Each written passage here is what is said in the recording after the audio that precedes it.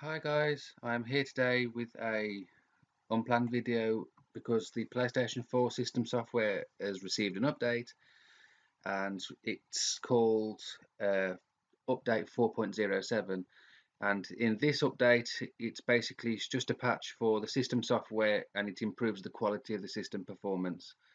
Uh, incidentally, if you're still wondering that this simply appears to be a rewording of the old stability updates as showcased by like Japanese patch notes, uh, those for the version 4.07 have not yet been released, but it's safe to assume that they won't be any different. Um, so there isn't much really to report on guys. Install the update as you need to to get online, play games. And that's pretty much everything I need to say for this video. Um, Admi's a a friend on PlayStation, and as you can see, that's my name in the corner, my PSN ID. And as we are a YouTube channel, we have also got our own PlayStation community, which should be loading any second now. So feel free to add me on that. Uh, post your thoughts, your trophies, anything you like on there. So thank you guys. I'll catch you in another video.